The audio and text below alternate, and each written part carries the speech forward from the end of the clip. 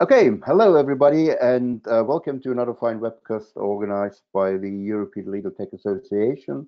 Uh, today we have Eric Chin, you see him uh, uh online, of Melbourne, uh, Australia, as our esteemed present, presenter. Uh, Eric is a consultant to legal tech, new law, big law, and big four firms on strategy, M&A, and the Asian markets in general. And a huge tip to the head to Eric for getting up so early. Uh, as I understand, it's 5 a.m. in Melbourne, so pretty early for, for him. So today, Eric will talk about uh, the research uh, into the global legal tech market he did using the Codex Tech Index. Uh, that's uh, the first part of his presentation, and the second part will be uh, he will shed some light on the specific markets in the South East Asian, Southeast Asia, the Asian countries, uh, a very dynamic uh, region. So that's uh, his second second part of his presentation. So as always, the webcast will be recorded and will be put on the other YouTube channel tomorrow. So now over to you, Eric. Oh, thank you, Holger. Um, I just want to make sure you can hear me okay at the moment. Yes, I, I can hear you, and I guess. So uh, thanks for the nice introduction. Uh, it's uh, 5 a.m. here, but my body clock, as I've mentioned earlier, is still on Singapore and Malaysian time, which means it's sort of 2 a.m. for me. Um, it's just like a late night out, really. um, so I'll do this session in two halves. Uh, the first half being an exploration of the legal tech ecosystem through this Codex Tech Index, and the second half being uh, a snapshot of what's happening in the legal tech market across Southeast Asia. And I'll share why I'm sharing that uh, later in the session. So uh, let's kick this off. Uh, just a quick background about me to help you contextualize how I see the market. Uh, as Holger has mentioned, um, I am a strategy consultant that has worked in the legal profession uh, for the last nine years. Uh, the work that I do in this space are with law firms, legal tech firms, listed law firms, buyers of legal services on strategy, M&A, Asia competitive analysis, and market analysis. Um, and the dots on the wall map are essentially where the clients I've worked with are based, and I'm based in Melbourne. Um, and I also share thought leadership papers uh, and reports with legal media and legal publication. So just a quick background about the first half of this paper. Um, it's a combination of research I've done into Stanford Law's Codex Tech Index. Um, so Stanford Law's Codex program is essentially the Center for Legal Informatics that is run out of Stanford Law School. And in February this year, I analyzed the Codex Tech Index uh, when there were 790 on the list um, and cross, referenced those entries with Crunchbase and Index.co. And the question I wanted to answer were firstly, who are those legal tech firms? Secondly, where are they based? Thirdly, what corporate activity could I find uh, from a funding and M&A perspective? Fourthly, who are in investing in legal tech? And fifth and finally, which segments of the legal tech market has attracted the most money and seen the most corporate activity? So what came out of that process um, was basically 1,768 lines of data on Excel, essentially exploring the global legal tech ecosystem.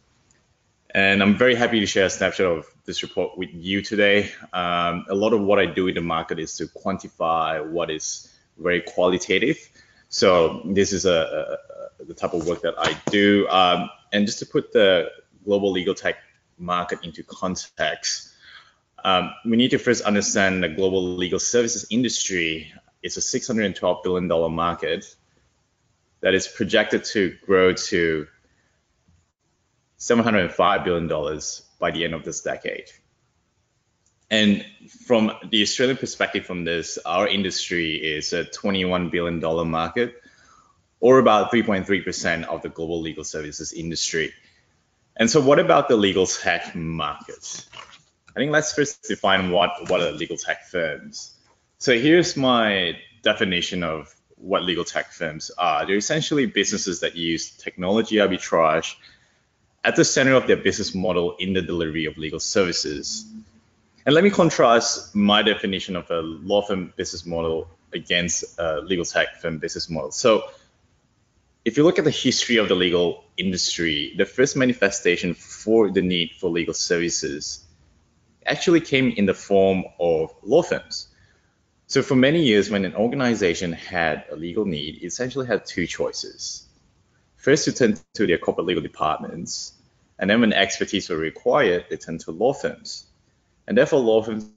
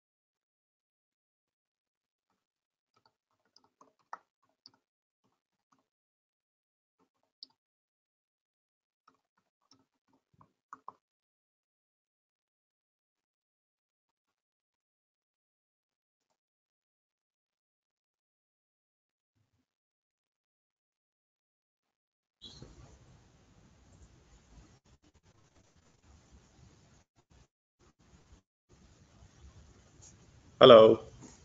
Yep. Oh, so you you lost Okay. you probably. Okay. So All right. I I'm thought it was you we lost. Yeah. Okay. Go ahead. Go ahead. No Right, problem. Yep. Where did you lose me at? Uber? Yeah. Go ahead. I I Okay. can hear you. I assume the the other ones will will, will hear you as well. Or can hear as well. Go ahead. Okay. Yeah, we can hear you, Excellent. Nick. So- hear you. Okay. Perfect. Thanks for that. So I'm just wondering where, where did you lose me before I, I went um, On, offline? uh, on exactly on that at, on, on on that uh, very slide. ah, Uh, right. like You, you, you were talking about uh, your, your, uh, the, the difference between your definition and some other definition, and then you, were- you went black. So Okay. All right. Cool. Um, okay. So, so basically, I wanted to contrast my definition of what a, a law firm business model is versus a legal tech firm business model. Um, so, the, I mean, if you look at the history of the legal industry, the first manifestation for the need for legal services actually came in the form of law firms. And for many years, when an organization had a legal need, essentially had two choices. First, to turn to their corporate legal departments, and then when expertise were required, they turned to law firms. And law firms have built a really successful business model around expertise arbitrage for corporate legal departments. And when you think about it, the law firm business model is about recruiting, training, hiring, and then billing based on expertise provided to corporate legal departments. Now, it is not until the turn of the millennium when the industry was engulfed by both outsourcing and technological trends that new solutions we can see. So the outsourcing trend gave birth to what we call new law firms, which are essentially labor arbitrage business models. And then the technological trend gave birth to legal tech firms. So what's the size of the legal tech market? Um, oops, let me see. Now, the legal tech market is estimated by Catalyst, which is a private equity firm out of the US that also invests in legal tech companies, to be a $15.9 billion market that is selling solutions to both corporate legal departments and law firms. And that's a really important point. A lot of what we read in the media, as you know today, uh, is about the threat of technologies and how robo lawyers are going to replace lawyers. And that is not in the case in, in reality. Like any functioning market, businesses are set up to solve a problem. And at the moment, legal tech firms are conceived to improve lawyer efficiency and lawyer effectiveness. So a lot of the media attention towards sensationalizing some of the things that we see on a day-to-day basis really drive a lot of the fear within the legal community as well. And when you take a step back and look at the legal tech ecosystem, it's actually driven by eight categories uh, of stakeholders. You have firstly law firms who are consumers of legal tech solutions, or they could partner with legal tech firms to conceive new solutions for the market. Or thirdly, for some of the law firms out there, they have the resources to build their own legal tech solutions. Then you have legal tech firms who are the ones that build and sell those legal tech solutions. The third category are essentially buyers of legal services that comes in the form of corporate legal departments who are also consumers of legal tech solutions. And then there are law schools and law associations, basically representing the end-to-end journey of uh, a lawyer's education lifecycle, from graduates to um, continuous education with law associations. And then we have technologies who then set the scene uh, for the consumption of technology technology in the legal industry. We have also investors who then invest in legal tech companies, and finally regulators that set the scene uh, for the legal tech ecosystem, whether it is an, a hospitable legal tech ecosystem or an in-hospital legal, legal ecosystem. Um, each of those stakeholders play an important role in driving the legal tech ecosystem. Take, for example, the role of legal tech firms. Um, in Australia, for instance, early this year, a group of legal tech firms actually came together uh, to form the Australian Legal Technology Association. And what that meant was to pull together uh, all the legal tech firms across Australia to come together and basically share some of the common issues they face in, in selling their solutions to the legal industry. And as we know in the legal market, it, uh, the sales cycle is a lot longer. It's not your usual sort of tech company environment as well. Um, and um, now in, in 2015, uh, Stanford Law launched the Codex Tech Index, uh, which is a crowdsourced database of the world's legal tech firms. And what they've done for us is basically categorize the legal tech population following nine categories. Uh, we have legal practice management solutions, legal document automation, e-discovery, legal analytics, all the way through to legal research, compliance, and education. And here's how the Codex Tech Index work. Self-identified legal tech firms will firstly apply to get on the list. Secondly, Stanford Law's Codex team will then review each applicant against a set of criteria. And once the applicant has been approved, you then get on the Tech Index. In other words, it's a crowdsourced database. So in February this year, there were some 190 on the database.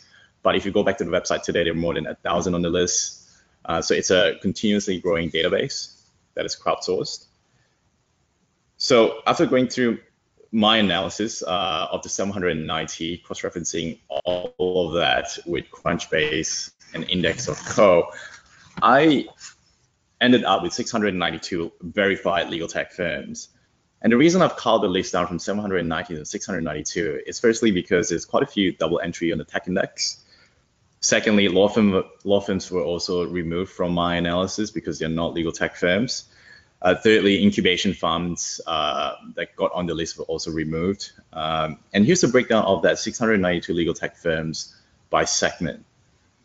Uh, in other words, what we're seeing really is the segment that has the largest population, globally through the Stanford Law Codex Tech Index are legal document automation, legal marketplace, and legal practice management. And to contrast that, the segment of the legal tech market that has the smallest population is legal compliance, interestingly.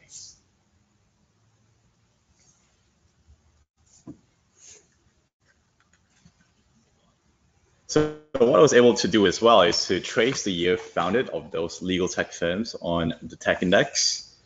Uh, it may come as a surprise to you, certainly did for me, but the first legal tech firm was actually founded in 1929. And that was Bloomberg BNA's predecessor company, the Bureau of National Affairs. And when you look at this chart, what it's really telling me is that 2010 marked the tipping point of legal tech startup as more and more legal tech firms were founded. And the reason I say 2010 was the legal tech tipping point uh, is because 84% of Codex legal tech firms were established from 2010 onwards. So then the, the next question is, which countries are pumping out these legal tech firms? Here's a breakdown of the legal tech firms by country. Um, unsurprisingly, the US is home to the most number of legal tech firms, 460, followed by Canada with 52, the UK with 35, Germany with 15, and of course, run out the top five, Australia with 13. And you can see a huge cluster across Europe um, as well that is covered by the tech index. Um, and of course, Holger, you and I have had this conversation about how the tech index is quite American centric. Yep. Therefore, the data that you see uh, doesn't quite paint um, the, the, the full picture necessarily for each of the countries that we're looking at. For instance, in Russia, I think you've mentioned to me before, um, there are probably close to 50 or 60 Russian legal tech firms that are in existence today. Uh, whereas my research the, the Australian market, uh, I found 93 legal tech firms as an example, right? Uh, but it's a really good indication of, of sort of, I guess, if you want to have an overview of what's happening, the tech index is a really good place to start. Um, yeah, so here's the geographic breakdown of those legal tech firms in the first instance. Um, let's explore what other data I was able to uncover in this research. So thanks to Crunchbase and Index.co, I was able to trace the type of funding deals recorded by those legal tech firms uh, from angel investment in the early stage uh, through to venture capital in the growth stage, and then finally M&A in the mature stage of a startup company's typical financing lifecycle. And through this exercise, I was able to trace about $2.5 billion that were invested into 200 legal tech firms through 419 funding deals. So these are all funding deals for Stanford Law's Codex Tech Index firms. And the cutoff point for this analysis was February, end of February 2018, which is February this year. And what this is showing is by far the segment that has received the most amount of funding were legal practice management, legal document automation, and e-discovery whereas the segments that have received the least amount of funding were legal, legal compliance and legal education, which is quite interesting. I think uh, from from a sort of my perspective, looking at the legal tech market, um, I see massive opportunity in the compliance space. Uh, and the reason I say that is if you look at the Australian market as an example, uh, there was a study that was conducted by Deloitte, uh, which looked at the cost of compliance to the Australian economy. Um, Holger, I, I mean, in, earlier I shared that you know the, the Australian legal market is about twenty-one billion dollars. yep. Whereas the cost of compliance to the Australian economy um, is ten times that, so it's two hundred billion dollars annually. Um, so there's a massive opportunity in compliance, but we haven't quite seen a lot of people coming out in that space. Having said that, the compliance space sort of sits a little bit as well with the RegTech uh, segment of the market. Yeah. Uh, yeah, so that that's a pretty interesting to me uh, segment to look at for the future. Um, but let's dive into uh, the other sort of data points I was able to find on financing to legal tech firms. So here's a yearly breakdown of that $2.5 billion uh, that were raised by legal tech firms on the Codex Tech Index. What we see here is the funding deals actually peaked in 2015 with $624 million. And then the number of funding deals peaked the year before with 76 in 2014. So let's have a look at which are the, those legal tech firms that have raised the most amount of money. By, by far, from my analysis, uh, DocuSign has raised the most with $515 million before they IPO'd uh, early this year uh, in April on NASDAQ.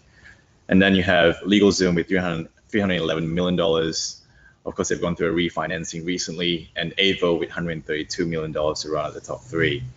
And the rest sort of just straddles around uh, from 125 million to about 26 million dollars. So there's quite quite a lot of um, big funding deals that have been recorded by some of those legal tech firms, as you can see. What I was able to do as well is to trace the the amount funding for those firms uh, in each funding round, and here's a a breakdown of the top 20 largest funding deals raised in a single round. Um, unsurprisingly, DocuSign has raised the most in a single funding round uh, with $233 million, followed by LegalZoom with $200 million, and then relatively previously Kura uh, with $125 million. And most of that has come from uh, the VC realm, uh, unsurprisingly as well. And so because this chart is showing the, the largest funding deal per round, um, that's why you see DocuSign appearing a few times on this chart. So they've raised a lot of money per round is what we're seeing. Same with LegalZoom as well.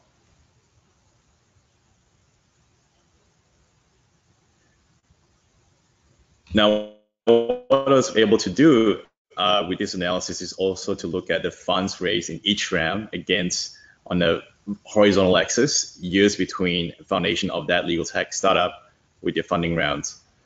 Let, let me explain this.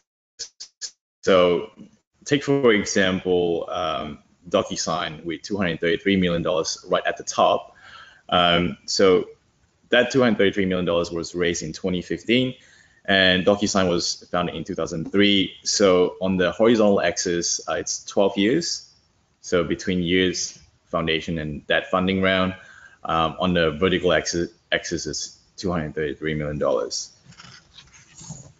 And what I was able to find from this analysis is that average, funding deals to legal tech firms actually occur close to three years after commencement. And that can probably be attributed to a few things. Firstly, those legal tech firms would have that have survived and thrived uh, would have built a track record for potential investors to gauge their viability as an investment.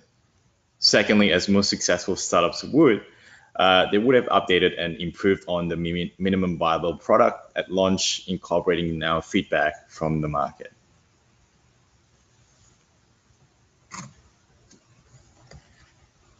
So let's have a look at uh, which funding rounds have legal tech firms turned to most to raise money.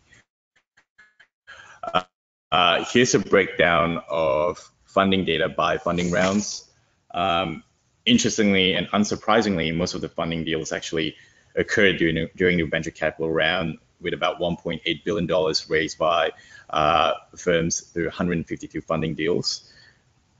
And then the most number of funding deals actually occurred, uh, again, unsurprisingly, at the seed funding round with 172 funding deals. But of course, the amount raised at the seed funding round is a lot smaller, about 10 times that of what you see on the venture capital round, $152 million. And the rest of the analysis shows how much were, were raised through grants, angel investors, convertible note, non-equity assistance, so on and so forth.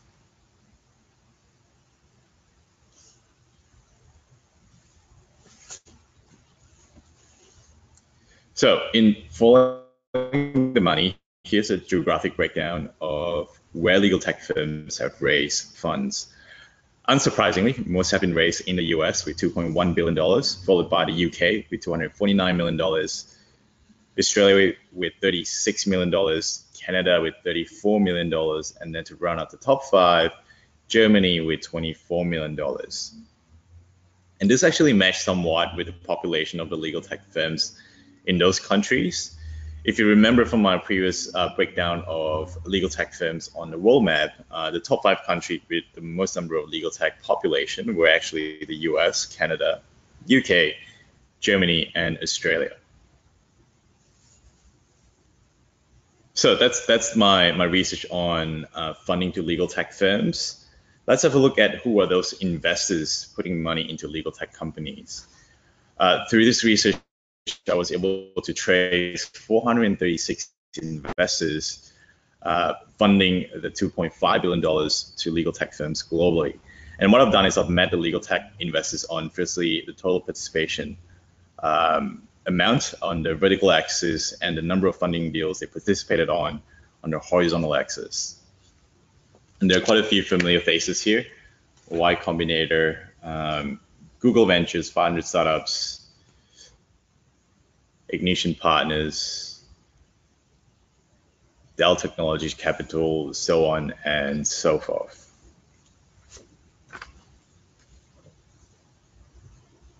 Now here's the top 20 legal tech investors that have invested in the most number of funding deals, represented by the blue bars. Uh, the biggest investor by number of funding deals were actually Y Combinator, which participated in 13 funding deals, followed by Ignition Partners, which participated in 10, and tied for three, uh, SV Angel and 500 Startups, both invested in eight funding deals.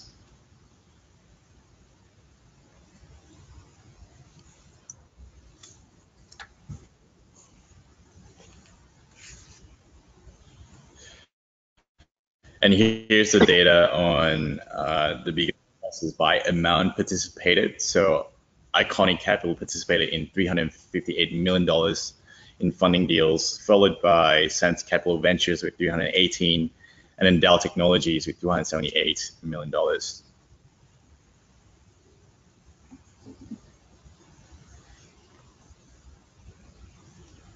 So this wraps up my, my snapshot of the investors that are actively participating in the legal tech markets. Um, what I was able to find as well from this research uh, is to trace the M&A deals recorded by those legal tech firms. And here, here are um, a breakdown of those M&A deals by segment. What I was able to do was to trace 111 M&A deals recorded um, by 44 legal tech firms on the Codex Tech Index. By far, the most corporately active segment is in legal research. And this is, however, because of listed companies like Thomson Reuters and LexisNexis. Now, here's a yearly breakdown of those M&A deals by segment. As you can see, consolidation in the legal research segment can be observed followed by legal practice management with 13 M&A deals, and then document automation with 12 M&A deals. And here's the breakdown by those acquirers. As you can see, uh, with access to funding uh, in, in the form of these companies like Thomson Reuters and LexisNexis, uh, you can now fund growth via acquisition.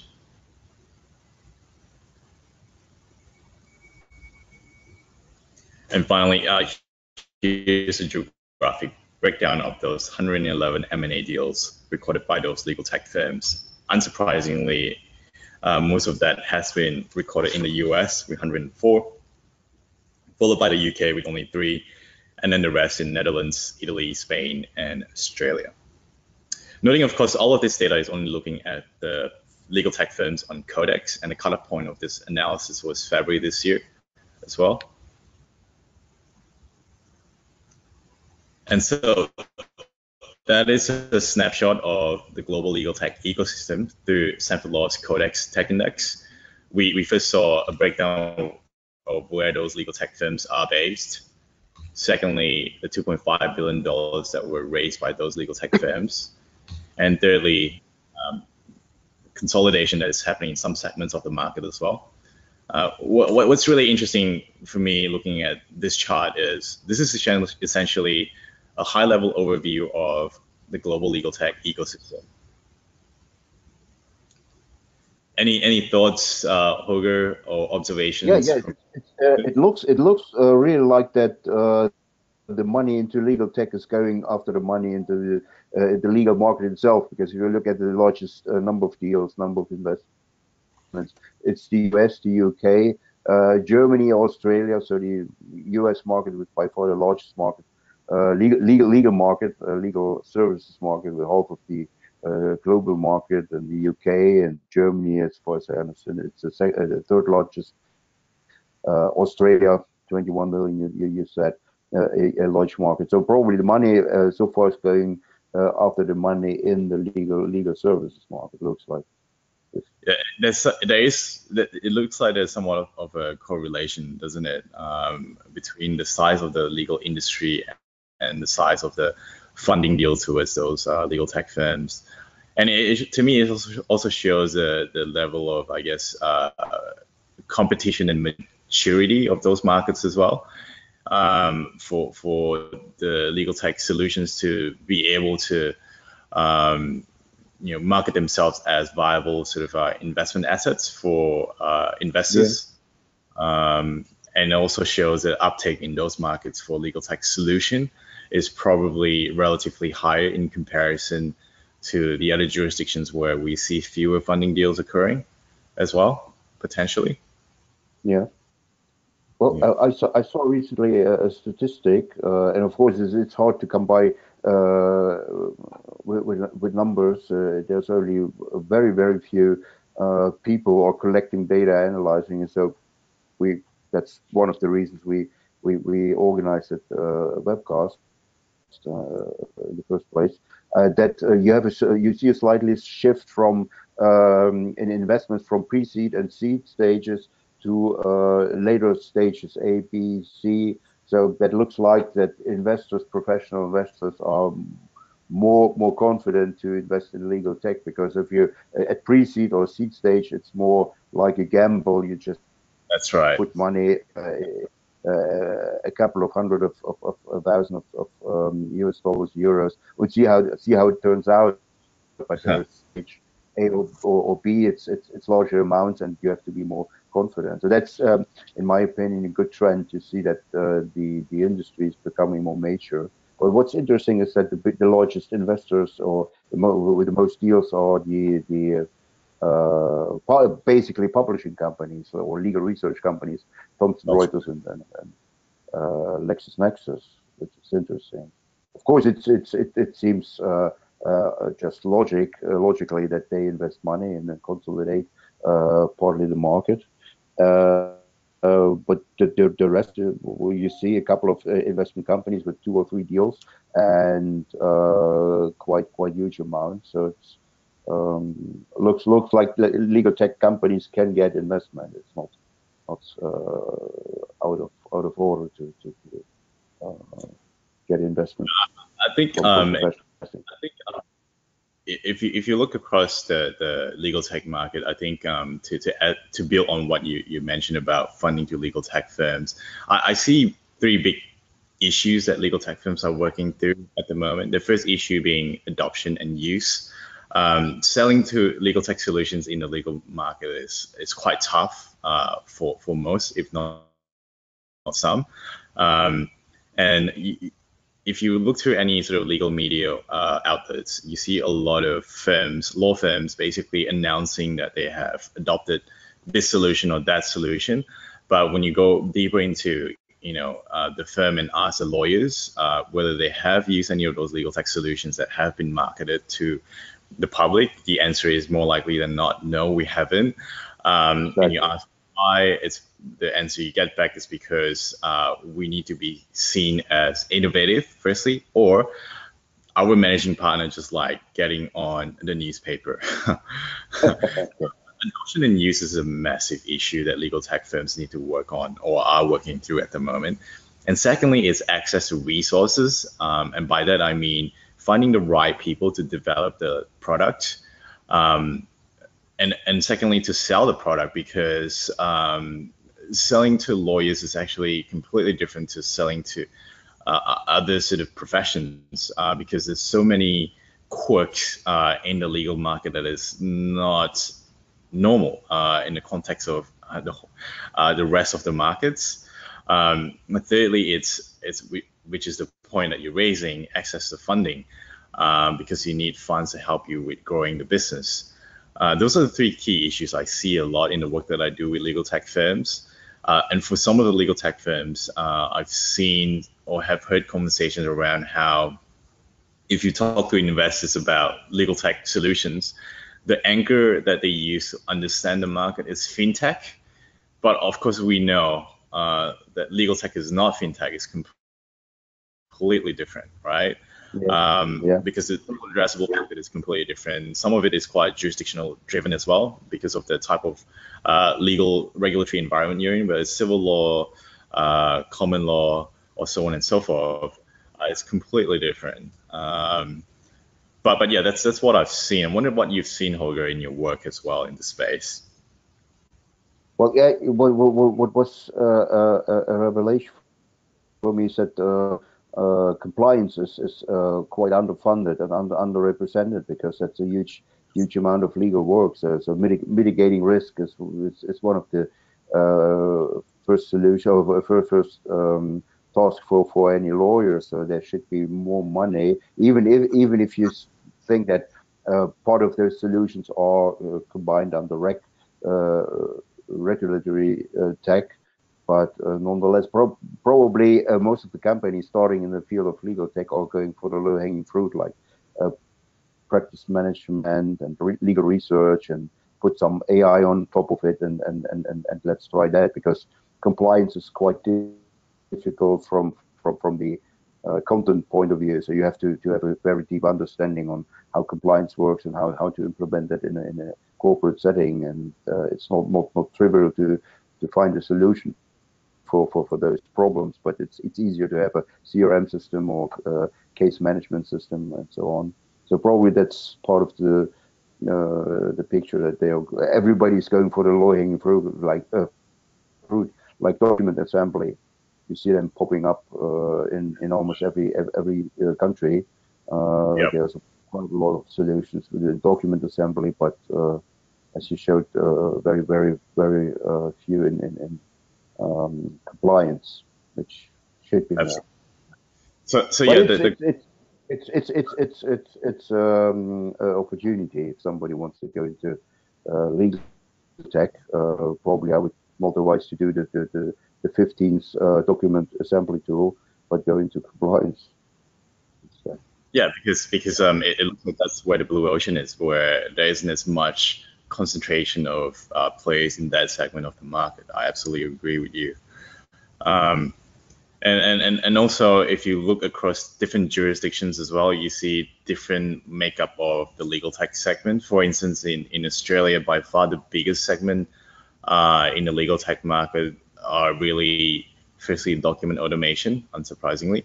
Secondly, legal ops, which is a massive exploding market at the moment because it's a massive yeah. opportunity to help corporate legal departments with improving their efficiency uh, they need to solve their workflow issue, they need to solve their prioritization issue, so on and so forth. So, so, legal ops is the second largest segment in Australia, and the third largest segment is really the legal marketplace uh, companies, where there's a lot as well here where uh, we're essentially connecting you know, buyers and end users of legal services with um, lawyers on demand, essentially.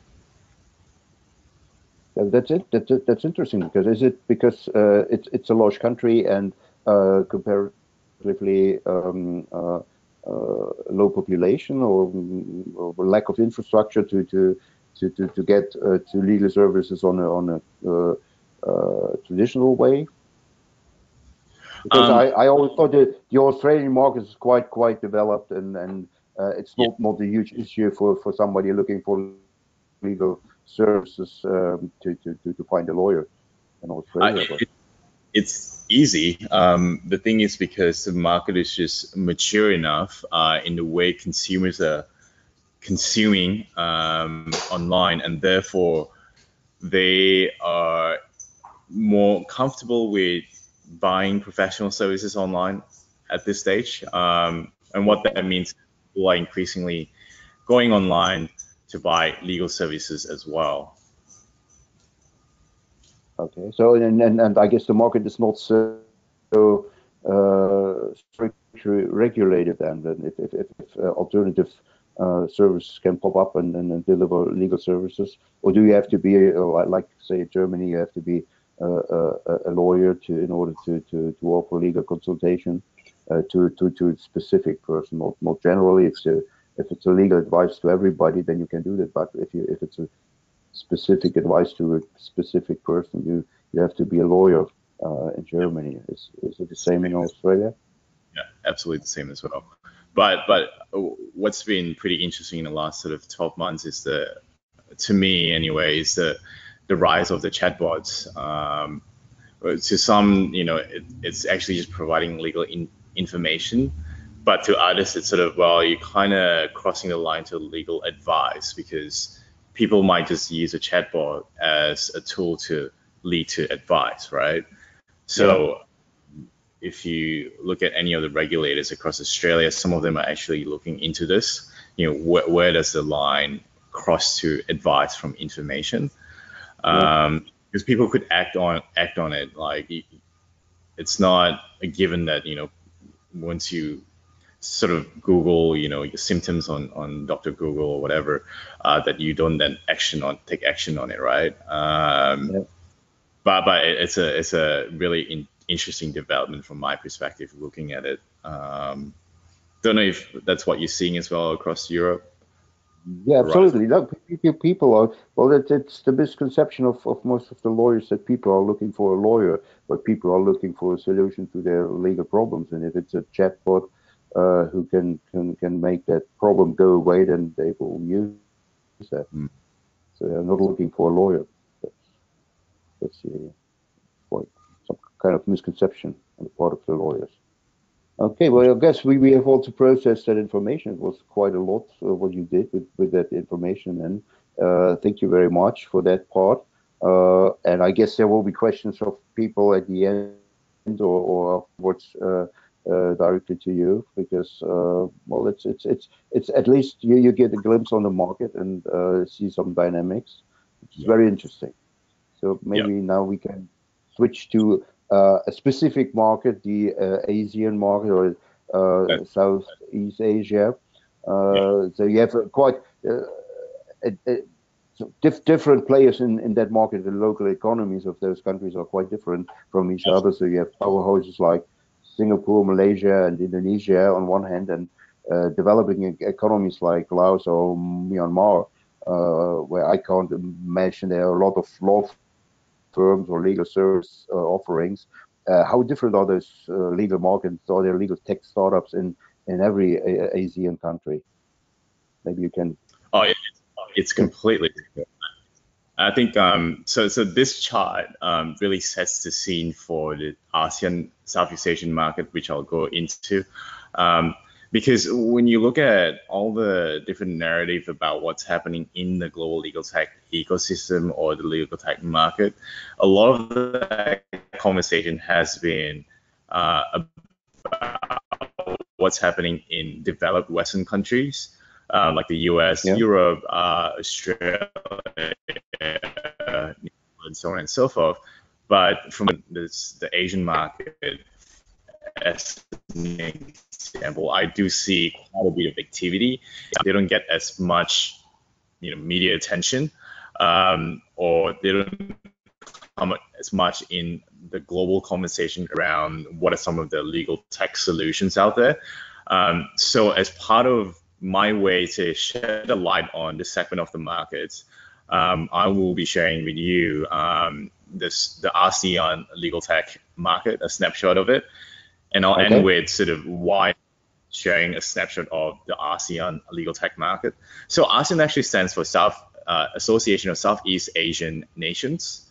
Um, it is home to 630 million people with a combined GDP of 2.5 trillion, and it's actually 10 countries uh, in ASEAN. There's Laos, Myanmar, Thailand, Cambodia, Vietnam, the Philippines, Brunei, Malaysia, Singapore, and Indonesia. Um, and when you look at the legal profession in this part of the world, here's what I found. There are about 155,000 lawyers servicing that 630 million population in this region. And what that means is really one lawyer for about 4,000 people.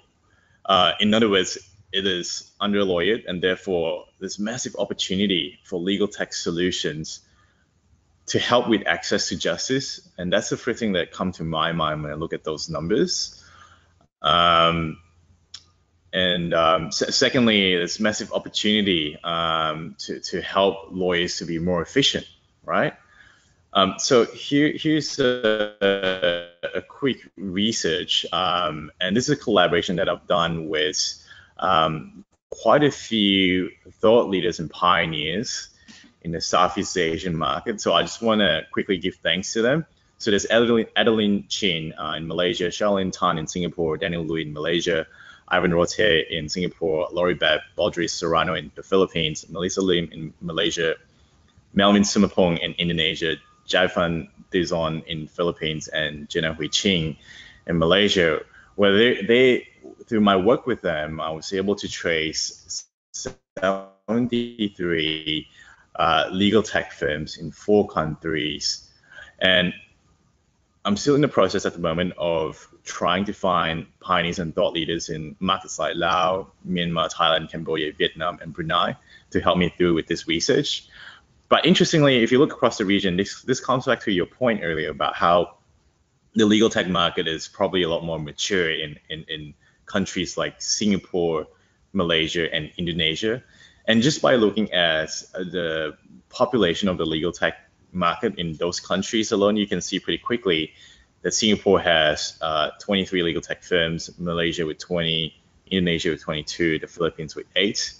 Uh, note also that this is an ongoing research that, that I'm doing with the team.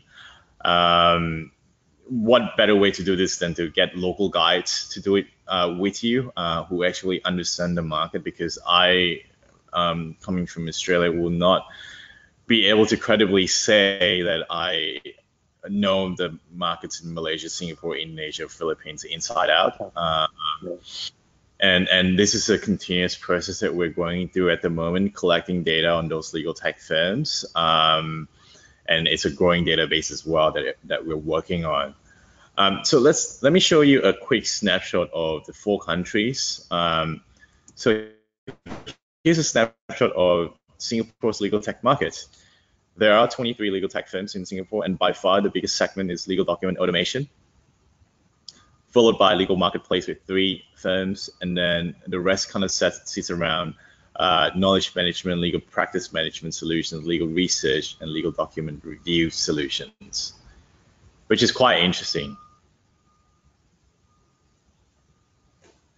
And again, you, you see you see the Malaysian landscape slightly different to the Singapore landscape. Um, for, for this research, I just want to point out again, thanks to Charlene Tan at Tesseract and Ivan Rote at Pactly. Um, so let's look at the Indonesian market. Um, by far the biggest segments in the Indonesian market are legal marketplace, legal document automation, and legal research with five and five and five uh, in terms of a breakdown of number of legal tech firms. And then the rest kind of sits around IP tech, uh, online legal service, compliance analytics, and practice management. Uh, this is research that was conducted by Melvin Sumapong at Justika, which is a legal tech firm as well in Indonesia.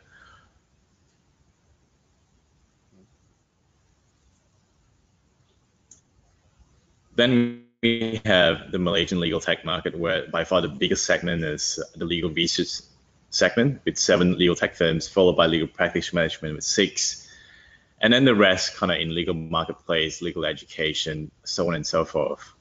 And this is research um, done in collaboration with Adeline Chin, Daniel Jenna, Jenna Hui Ching, Melissa Lim from Law Tech Malaysia, which is a relatively new organization that's looking to work with the Malaysian market to educate them about um, the, this the fact that legal tech solutions are not here to replace lawyers because there's a lot of fear within the legal community in Malaysia about how their jobs could be at risk um, or that they might get automated away from from the legal industry, which comes back to my earlier point um, about how the sensationalization that uh, legal media publications um, have done in terms of building the the attention and momentum for the legal tech market has been great to, to a certain extent, but at the same time, it's a double-edged sword in that when you're faced with conservative law association and law societies, um, they tend to take a more conservative approach towards legal tech. Uh, Malaysian to market to me is an example of that somewhat. Um, also like to point out Junlo uh, from Easy Law, which is a legal app uh, solution in the Malaysian market, which is unique on its own, uh, also contributed to this research as well. So we were able to find 20 legal tech firms in Malaysia.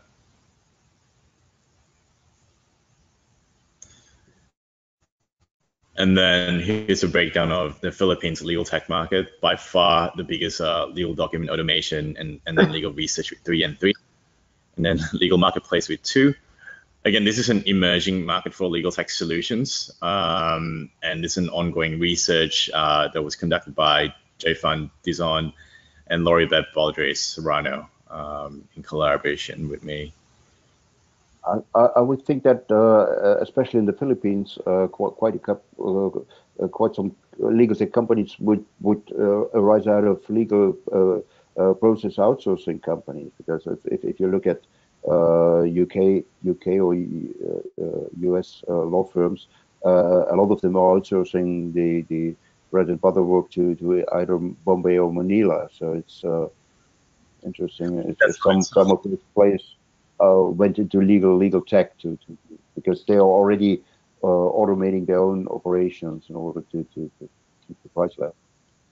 Yeah, so so that's the difference in definition defining the market. So I would categorize legal process outsourcing in the new law bucket, which is where it's a essentially a labor arbitrage business model, whereas the legal tech market is a technology arbitrage business model. So LPO are essentially where you outsource um, to a jurisdiction where the cost of labor is uh, lower, uh, but the quality of the, that cost of labor is still really high. Um, so, so to me, that's a, a, a, different segment of the, the market that we're talking about. Yes, um, absolutely, absolutely. But I guess that um, if, if uh, in, in uh, jurisdictions like the UK, the US, or, or uh, other European company uh, countries, uh, law firms will implement more technology, then probably the LPO market will shrink. So that might be uh-huh. might be an exit strategy for LPO providers in, in in India and, and, and, the Philippines to, to go into legal technology and, and keep those customers. Yeah, it, it's quite interesting that you mentioned that because I've seen some of the LPO companies actually transition transitioning their offering uh, from just providing a labor arbitrage solution to also um, venturing into legal tech. So some of them are also doing consulting uh, to legal departments as well to help them with improving their efficiency. A lot of the time, once you get into a conversation around um, staffing issues, that opens the door to how do we help you become more efficient? And once you get into a conversation about efficiency, there's quite a few sort of parcels of consulting work around. Okay, we could remove some of your fixed costs um, of staffing, um, and we will just basically be your outsource um, legal department, if if possible. And then, or let's tackle on sort of some of the technology that we have seen legal departments using to become more efficient or to help with triaging the, the work that comes comes through to the legal department from the rest of the business.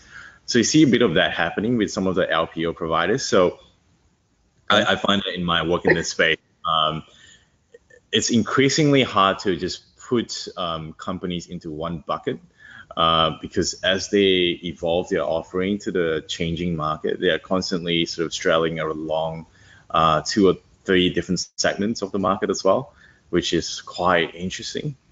Um, but but yeah, point taken. Absolutely. I mean, some of the LPO companies probably will be looking at um, how not to be replaced by technology, right? Okay. Um, and, and, so, so given that's a snapshot of the Southeast Asian legal tech market, albeit we're just looking at four countries as an example. And the reason yeah. I'm doing a lot of work in the Southeast Asian market is because um, I have been inspired by what I've seen with Europe, with what you guys are doing with European Legal Technology Association. So I've embarked on a journey of basically establishing an ASEAN Legal Technology Association. Um, okay. At this stage, where I am, and that's why we're in conversation as well, Holger, uh, is yep. I've my regional board, which consists of um, a legal tech founder, um, uh, two representatives from uh, two law firms in Southeast Asia, um, the COO of a legal tech arm of a law firm, and also the GC of a technology company who has an Asia Pacific head on as my regional board. I'm working closely with them at the moment. Um, to establish the technology ASEAN Legal Technology Association. and where I am right now is um, if you want to establish an ASEAN organization, because ASEAN is a political entity on its own, I need to find representatives from all 10 countries. So at the moment, I'm, I'm still looking for potential collaborators in Vietnam, Brunei, Cambodia, Laos, and Myanmar. So if you have any contacts or if your listeners have any contacts in those markets that they know who are interested in the legal tech uh, market, feel free to reach out to me because I, am I'm, I'm on the lookout for collaborators in those uh, countries at the moment. Um, and we're working closely towards launching this at some point next year. Uh, fingers crossed before um, June 2019. Um, and yeah, this is the first time I'm sharing this publicly. So sounds yes, uh, sounds exciting.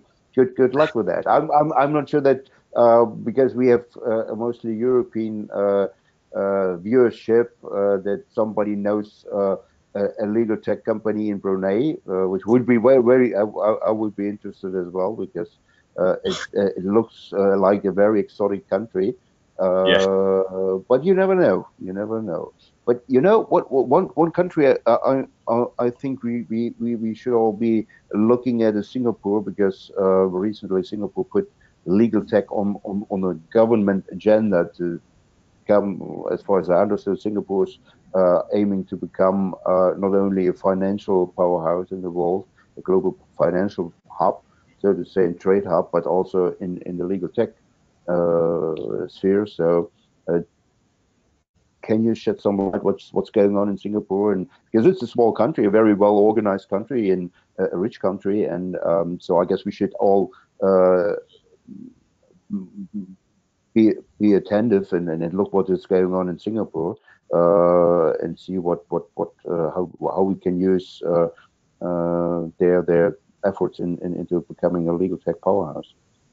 Absolutely. Uh, so, so a market like Singapore, it, it's actually similar to most countries across Southeast Asia in that if it's driven, it, most of it is driven top down. So the Singapore government is really efficient. Uh, what they have done is they have developed a vision for Singapore legal tech ecosystem, and their goal is to essentially build Singapore as the Asia hub for legal tech. And what that means is they're implementing programs to two major arms um, that are market facing. So, Singapore Law Society um, last year launched a rebate program called Tech Start for Law. And what that is is essentially to in, to at least introduce law firms uh, to legal practice management solutions. So if you're a law firm um, and you haven't used legal tech solutions before, you can apply for the rebate program and essentially get 70%, I think, from memory, 70% of the first year's subscription to that legal tech solution. What that meant was there was an explosion of um, adoption across the board in 2017, and the rebate program was obviously oversubscribed which is a great thing because what that means is um, law firms are now exposed to those legal tech solutions. And in a market like Singapore, uh, essentially what you're looking at is about 95 or 98% of the law firm population are made up of law firms with um, one to five partners. So they're really small. Um, obviously, you have the big end of town, uh, like Rajah and Tann, Wong Partnership, uh, so on and so forth. Um, but it's still a, a, long tail as well. And what that means is for um, the law society that they need to help that long tail who don't necessarily have the resources like some of the bigger firms do in looking into the different technology solution and then implementing them. So the rebate program was a really good start to it. And what I'm hearing as well in the market on the ground is they're looking to launch a second Tech Start for Law program, uh, which will be announced at some point next year. Um, secondly, they're working through also an arm called Singapore Academy of Law. And last year they launched, or the, earlier this year actually, they launched FLIP, which stands for Future Law Innovation Program. So FLIP is an industry-wide education um, um, that is helping law firms and corporate legal departments in Singapore understand the legal tech ecosystem. And the programs are here to help law firms and legal departments in thinking about innovation in legal services as well. So you can enroll into a program where you get brought into um, a deeper dive into, you know, how where to start if you're looking at innovating your firm or adopting a technology for your legal department or law firm.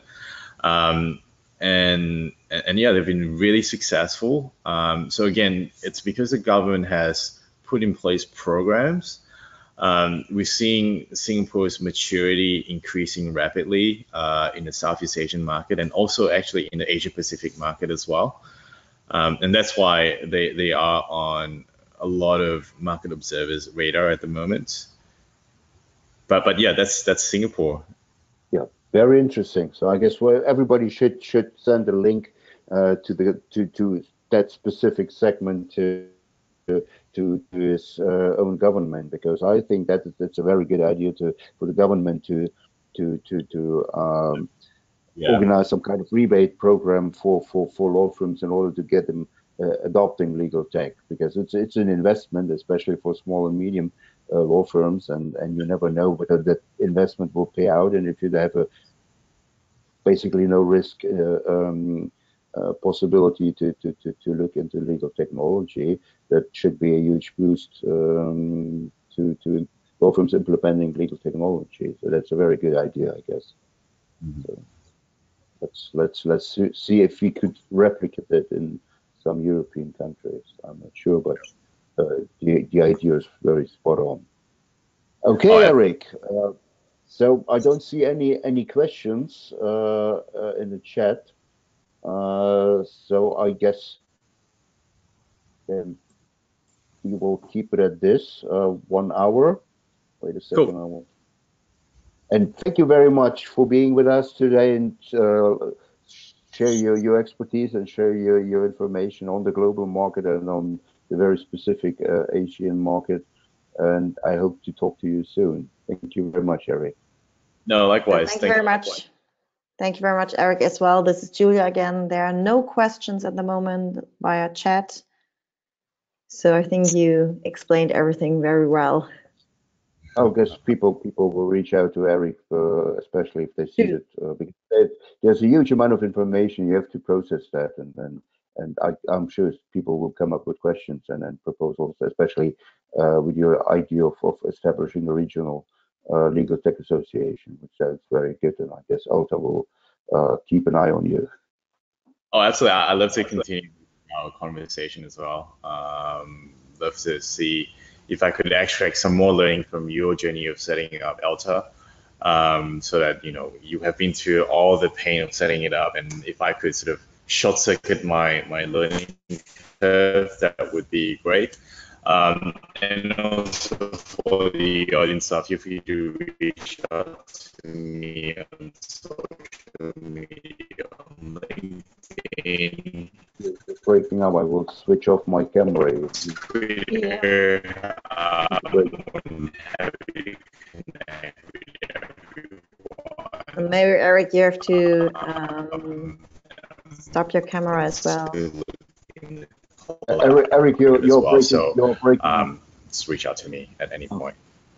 Okay. Yeah, you you just broke up a little bit. You, you couldn't hear you, but but that's fine. Okay. Once again, thank you very much, Eric, and uh, maybe you can catch some some sleep. Sorry for for for doing that at that ungodly hour in the morning. well, it's actually just in time for me to start my day right now at 6 a.m. So. okay, then let's let's do it on a weekly basis. yeah. okay, and thank you for thank everybody listening in, and thank you, Julia, for organizing it as always perfectly. Sure. Thank you very much. Goodbye. Have a lovely Bye. evening. Bye.